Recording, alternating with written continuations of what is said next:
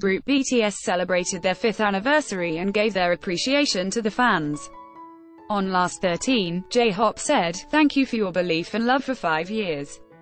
I feel a lot more alive today thanks to you guys, he said. ARMY and I will celebrate our BTS birthday, published a self-celebrated fifth anniversary. Following J-Hope, Suga also said, Thank you, ARMY. Jimin said, It's been a happy fifth anniversary since I was with ARMY for five years. More things will be waiting for me now and more wonderful memories will be waiting for me. I love you. He raised hopes for the activities of the BTS in the future.